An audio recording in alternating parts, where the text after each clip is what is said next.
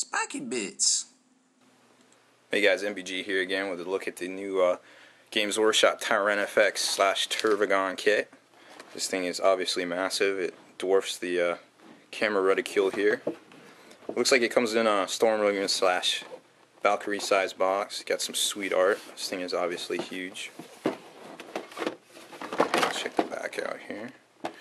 There's different upgrades. Got the uh, Tervigon.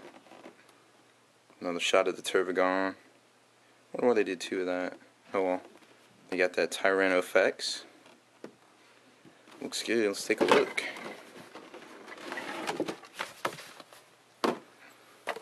Oh, there's the base everybody's crying about. Monstrous creature goes on a 60 mil. Oh noes. Alright, well, here's your weapons. Pretty cool. Looks like this one is three pieces. That'll be interesting. Hopefully that lines up good. the instruction booklet is actually smaller than the uh, Hive Tyrant one. That's interesting. Alright, let's take a look at the big sprue here. You got the torso.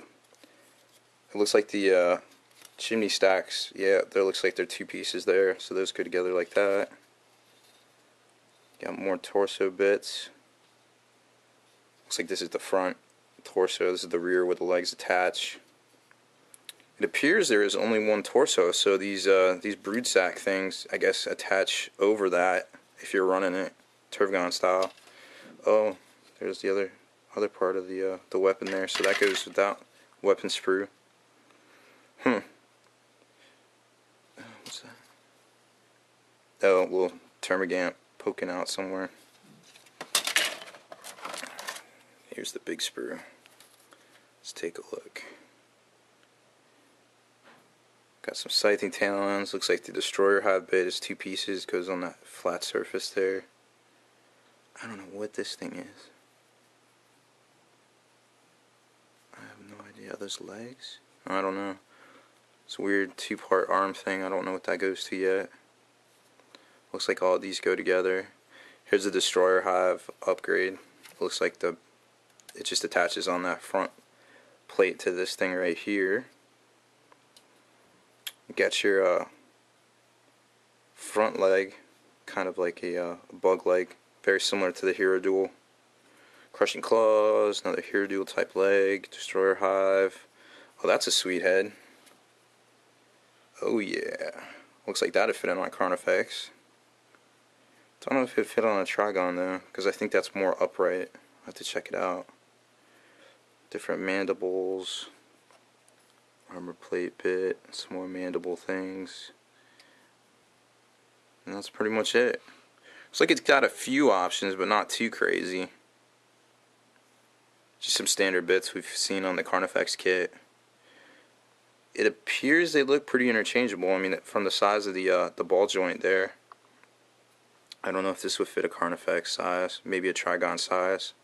Some of the bigger claws. I will definitely try that out though. But yeah, this looks like a good kit. And they did it all on the computer, so hopefully it goes together a lot better than that Carnifex torso. But overall, I definitely like it. Super stoked for all this new stuff. And I can't wait to tear into it. Hey guys, I made a little bit of a mistake uh, earlier in the video there. Um, there is no such thing as a destroyer hive for uh, Tyranids. I was thinking of uh, Typhus from Chaos, and uh, also a little uh, little fun fact is uh, those legs I couldn't figure out what they were. Those are the uh, the back hind legs um, that are actually three pieces, uh, left and right, uh, upper leg, and one piece lower leg that kind of attaches at a little bit of a hinge. It's a pretty sweet bit. Um, definitely a couple of those you could get some upright walking uh, monstrosities going. So it's a pretty cool kit overall. Uh, sorry about those mistakes, but hey, you know, uh, first impressions and all. So uh, everybody have a good weekend and uh, enjoy the new releases.